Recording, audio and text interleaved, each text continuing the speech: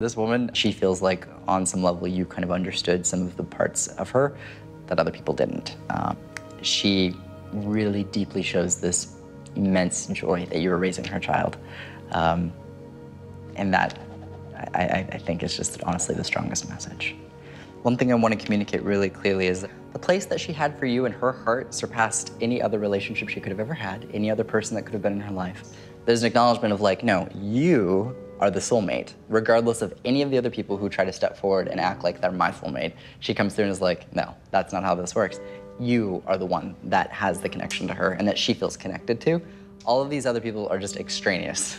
the way that this comes through is because of the nature of how abruptly and quickly she would have passed. She didn't really have the full opportunity to be able to obviously say everything that she wanted to say.